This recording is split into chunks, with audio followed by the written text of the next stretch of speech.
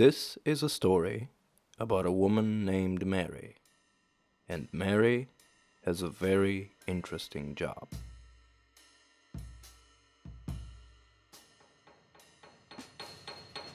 Mary wakes up every morning at the exact same time for 10 years.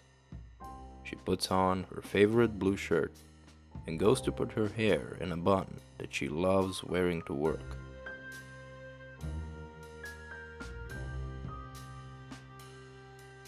Her job takes place in a single room, and every time she enters, she has to make sure that the door always stays open before she sits down by the desk.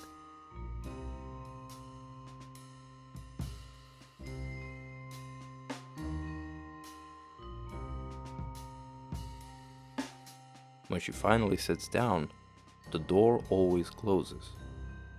She has done this for 10 years, and the door has always closed on its own. She starts her job at exactly 12 o'clock. The job is very simple, and this is why she continues to do it. She goes in a small room and sits by the table for three hours. There isn't much else that she can do out here but Mary thinks that this job is pretty good for her. When the clock reaches 3 and the door opens, the job is done. She can go home and go about her day. Mary has been doing this job for a very long time now, and nothing ever changed. She always did the same thing over and over again. Until today happened. She woke up like any other day, got ready for work, and got into a room while carefully making sure that the door stays open behind her.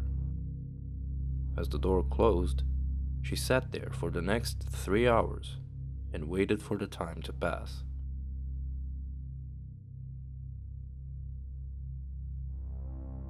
As she looked at her clock, she noticed that the three hours have passed, but the door did not open. How can this be? she asked herself. She didn't understand what had happened and what she needs to do.